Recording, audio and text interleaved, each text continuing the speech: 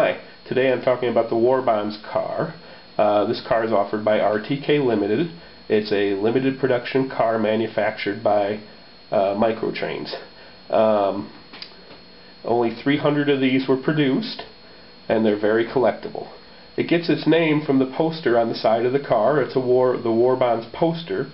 This poster was produced in 1944 and you would see it all over the United States at gas stations and movie theaters to promote uh, uh, money for the war effort. Um, there's all sorts of different types of these posters, and maybe more of these cars will be coming out. Uh, it's a very, very nicely running car, pulls fine behind the train. In fact, after I'm done with this, I'll be showing you a video of it going around the track.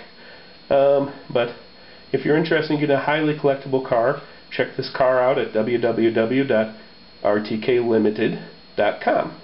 Uh, or you can send me an email. Have a great day and thanks for watching.